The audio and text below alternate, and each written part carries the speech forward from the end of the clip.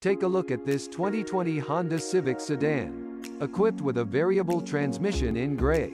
This car comes with some great features including Android Auto, dual climate control, anti-lock brakes, Apple CarPlay and more. Come in and check it out today.